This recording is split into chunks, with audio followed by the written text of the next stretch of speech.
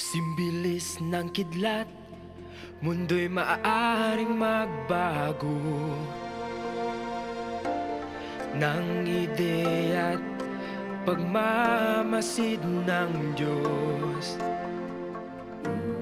Darating mga bagay na di pa narinig ng tao. Taglay nila'y maglalaho